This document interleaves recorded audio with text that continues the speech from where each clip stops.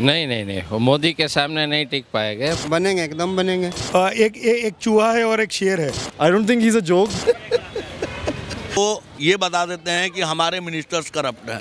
He is little immature और राहुल गांधी का सपना जैसे अडवाणी का सपना रह गया वो सपना ही रह जाएगा। कार्टून नेटवर्क में चले आए वहाँ ज़्यादा अच्छा स्कोप है उनका। बन सकते हैं बनने में कोई बुराई थोड़ी है उनको। राहुल गांधी पीएम का लायक ही नहीं है।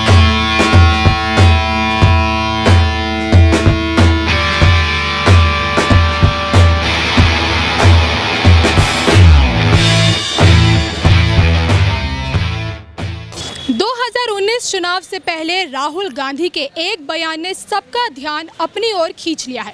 राहुल ने कहा है कि अगर 2019 में कांग्रेस को बहुमत मिलता है तो वो देश के पीएम होंगे।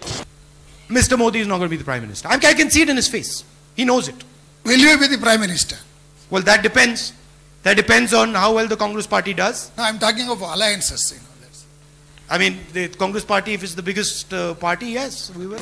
इस पर जनता की क्या राय है आइए हम जानते हैं